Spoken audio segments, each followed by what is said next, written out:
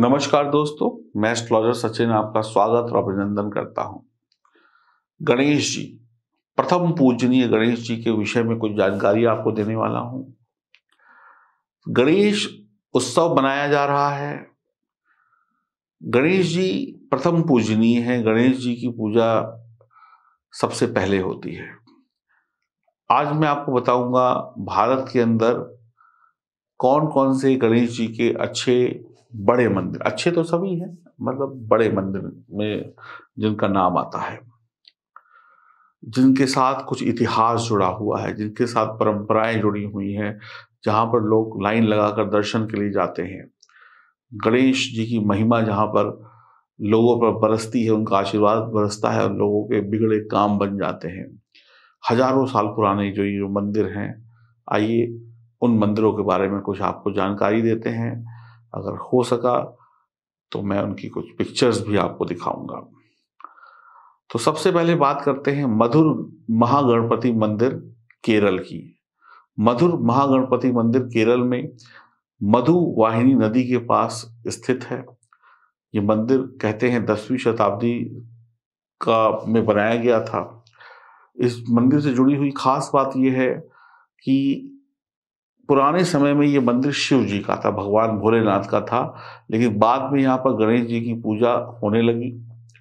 और कहते हैं कि जब शिव जी का ये मंदिर था तब यहाँ पर एक आ, कोई कोई पंडित कोई साधु संत या पंडित रहता था और उसका बेटा भी उन्हीं के साथ रहता था। तो एक दिन जो पंडित आ, का जो बेटा था आ, वो मंदिर की दीवार पर गणेश जी का चित्र बना रहा था ऐसे पेंटिंग बना रहे थे तो कुछ समय बाद धीरे धीरे वो चित्र जो है वो उभरने लगा, यानी कि एक शेप लेने लगा वो जिस भी चीज़ से बना रहे थे तो उभरने लगा तो दीवार पर चमत्कारी रूप से एक गणेश जी की जो फ़ोटो जो बच्चा बना रहा था, वो उभर कर सामने आ गई, यानी मूर्ति के रूप में आ गई।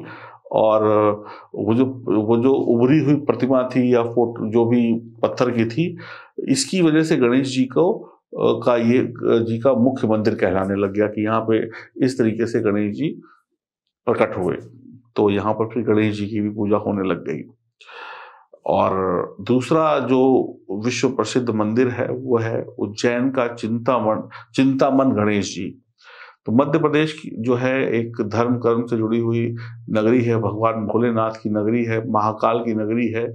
कहते हैं नवीं दसवीं शताब्दी में गणेश मंदिर यहाँ पर स्थित है स्थित हुआ था और उज्जैन जो बात में जो बारह ज्योतिर्लिंग है उसमें से एक महाकालेश्वर भी वहाँ है।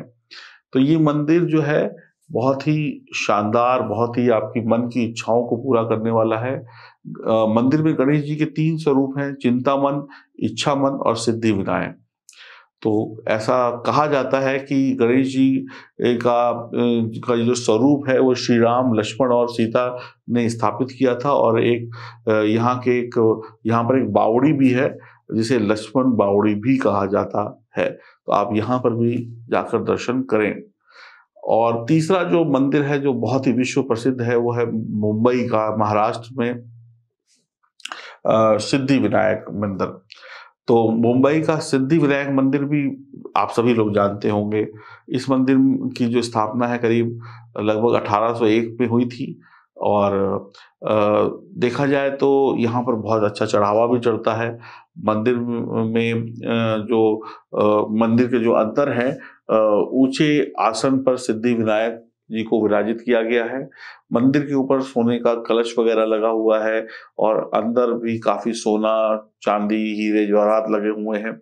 ये मंदिर काफ़ी बड़ा है और सिद्धि विनायक की मूर्ति काले पत्थर से बनी हुई है, ऐसा बताया जाता है। तो यहाँ पर भी आपकी बड़ी मनोकामनाएँ पूर्ण होती बड़ी बड़ी फिल्मी हस्तियाँ बड़े बड़े लोग यहाँ पर सर झुकाने जाते हैं और अपनी मनोकामनाएँ पूरी करवाते हैं।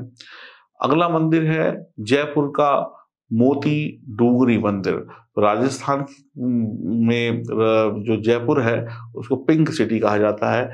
वहाँ पर सब आपको पिंक पिंक देखने को मिलेगा। तो गणेश जी का ये मंदिर विश्व प्रसिद्ध है और जिसे मोत, मोती डूंगरी गणेश मंदिर भी कहा जाता है। मंदिर में जो मूर्ति है वो करीब सत्रह सौ इकसठ ईस्वी में जयपुर के राजा माधव सिंह प्रथम की रानी के पैतृक गाँव वालों गाँव मालवी से लाई गई थी और सत्रह सौ इकसठ से आ, से भी पहले इस मूर्ति को का इतिहास है, यानी और भी पुरानी हो सकती है, यानी बहुत पुरानी मूर्ति है, जिसकी पूजा की जाती है। इसके बाद अगर हम बात करें तो फिर अगला मंदिर आता है पुणे का दंगड़ू गणेश मंदिर। दंगड़ू गणेश मंदिर महाराष्ट्र के पुणे में स्थित है और इस मंदिर को भी कहते हैं अठारह शताब्दी में बनाया गया था। मान्यता है कि इस समय प्लेग जो प्लेग आपने बीमारी सुनी होगी इस महामारी से यहाँ के एक व्यापारी दंगड़ू सेठ हलवाई के बेटे की आ, का स्वर्गवास हो गया था। तो कुछ आ, कुछ आ, समय बाद दंगड़ू सेठ और उसकी पत्नी को गुरु मा, आ, माधव नाथ ने गणेश बनाने की सलाह दी ताकि उनका मन शांत रह सके वो अपने पुत्र वियोग से बाहर निकल सके। बाद में मन, में ये मंदिर जो है दगड़ू सेठ के नाम से प्रसिद्ध हो गया। तो उन्होंने जो मूर्ति बनाई उसी की पूजा पाठ होती है। अगला मंदिर है चितूर का कन्नी पंकम, गणेश मंदिर। तो आंध्र प्रदेश के चित्तूर शहर में इरला क्षेत्र में कन्नी पंक, पंकम गणेश मंदिर स्थित है। इस मंदिर में इस मंदिर को को को पानी के देवता भी कहा जाता है। तिरुपति बालाजी से भी इस मंदिर की करीब दूरी पैंसठ, सत्तर किलोमीटर के लगभग है। तिरुपति आने वाले अधिकतर लोग कनी पंकमन मंदिर ज़रूर पहुँचते हैं। मंदिर का निर्माण ग्यारहवीं शताब्दी में चोल राजा कुठो कुलो ठुन्या चोल प्रथम ने कराया था तेरह सौ छत्तीस में और विजयनगर के राजा ने इस मंदिर की इमारत में सुधार कराया था। ऐसा कहा जाता है कि यहाँ पर जो गणेश जी की मूर्ति है, वो आकार में दिन प्रतिदिन बड़ी होती जा रही है, हर साल ये मूर्ति अपनी और बड़ी हो जाती है। फिर अगला मंदिर आता है रणथंबौर का त्रिनेत्र गणेश मंदिर, राजस्थान के सवाई माधोपुर के पास रणथंबोर का किला स्थित है।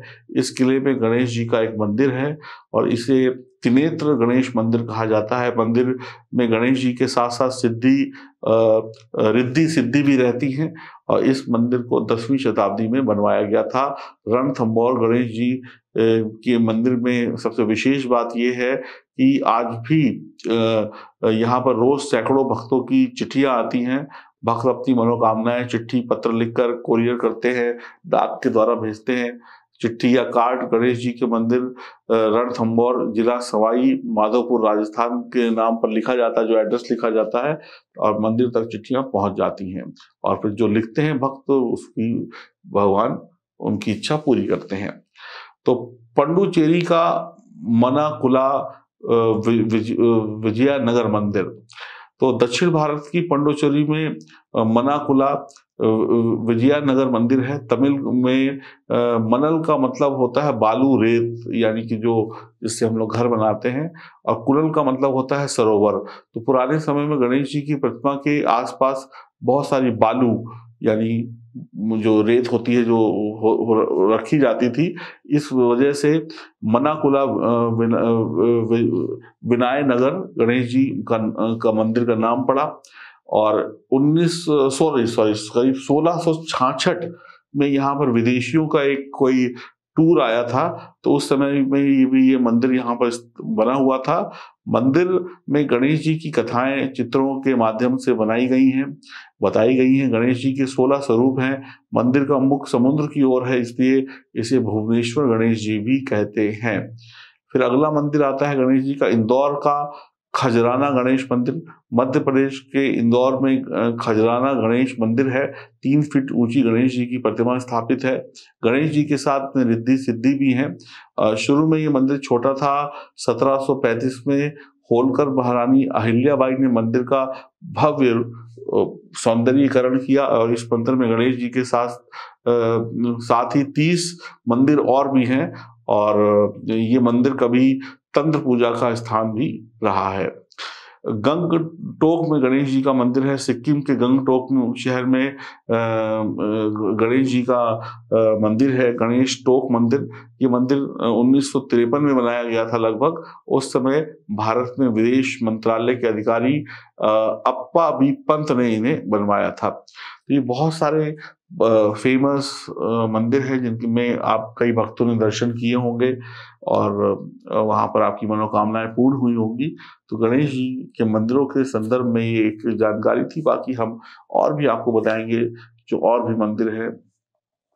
हर एक भगवान के किस शहर में कौन सा मंदिर बहुत अच्छा है ये जानकारी देंगे। आ, कुछ साउथ के जो शब्द हैं मंदिरों का नाम लेने में अगर मुझसे त्रुटि हुई हो तो ईश्वर से और आपसे क्षमा चाहेंगे। कई बार कुछ शब्दों का प्रोनाउंसिएशन सही से नहीं हो पाता है तो उसके लिए ईश्वर से क्षमा प्रार्थना। तो आप लोग श्रद्धा और विश्वास से मंदिरों में जाइए। गणेश भगवान आपकी सभी मनोकामनाएँ पूर्ण करेंगे। ये बहुत क्या कहते हैं, ऐसे मंदिर हैं जहाँ पर गणेश जी साक्षात रूप में आपको आशीर्वाद देते जब आप गणेश जी के मंदिर पर दर्शन करेंगे तो ऐसे लगेगा जैसे मानो भगवान ने आपको गले लगा लिया हो, यानी कि आपको ऐसा अंदर से महसूस होगा कि आप जो प्रार्थना लेकर, जो अर्जी लेकर गणेश जी के समक्ष गए हैं, कहीं ना कहीं गणेश जी उसको जल्द पूरा करेंगे। तो उम्मीद करता हूँ कि आपको ये वीडियो पसंद आया होगा। इस वीडियो के लिए, इस वीडियो को बनाने के लिए कई सारे इंटरनेट से हमने कई जानकारियाँ ली, कुछ किताबों से जानकारियाँ ली तो उन सब चीज़ों के सौजन्य से इस वीडियो को तैयार किया। जो पिक्चर्स वगैरह जितनी हम आपको दिखा पाए, ये पिक्चर्स भी इंटरनेट से ली गई हैं, ठीक है? और आगे से हम बहुत कुछ आपको अब दिखाने वाले हैं अपने चैनल पर। अलग अलग जगहों पर जाएँगे, वहाँ के मंदिरों के दर्शन कराएँगे ताकि घर बैठे आप हमारे चैनल के माध्यम से सारे लगभग तीर्थ यात्रा कर सके, मंदिरों के दर्शन कर सके और आप पुण्य प्राप्त कर सके। आपका कोई सुझाव सुझाव है, कोई सलाह है या आप कोई और मंदिर हमें बताना चाहते हैं कि और भी मंदिर हैं जो बहुत फ़ेमस हैं, जहाँ पर मनोकामनाएँ पूर्ण होती हैं तो आपका बहुत बहुत स्वागत है। आप कमेंट बॉक्स में लिखिए, दिए गए नंबर पर व्हाट्सएप करिए, बताइए, हमसे जुड़िए, ताकि हम और आप मिलकर सभी को एक अच्छा ज्ञान दे सकें। नमस्कार।